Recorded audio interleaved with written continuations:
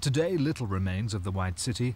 Demolition work is well underway in readiness for a new hypermarket on the site. But the Greyhound Racing Association say their sport can survive. Wimbledon and Catford are to be improved. And here at the West London Stadium, they plan to build a new White City.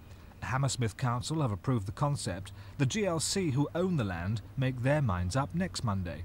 We're nonetheless very confident about the future of greyhound racing, provided it's presented in a modern, comfortable stadium.